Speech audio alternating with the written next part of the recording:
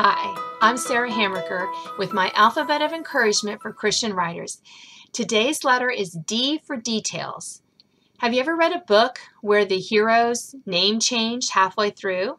Or maybe your hero, heroine suddenly grew long hair after having super short hair in the beginning of the book, and not enough time has passed for her to grow long hair details matter. They matter to us as writers, they matter to our readers. So we need to make sure as writers that we are getting those details right, whether it's the correct slang for 1850s Idaho or if it's the correct uh, what you call them what you call a subway in different parts of the world or what kind of guns our heroes use or our heroines use we need to get those details right we need to take the time to make sure that we get them right. And when we do, our stories will have that authenticity, no matter where they're set, that our readers crave.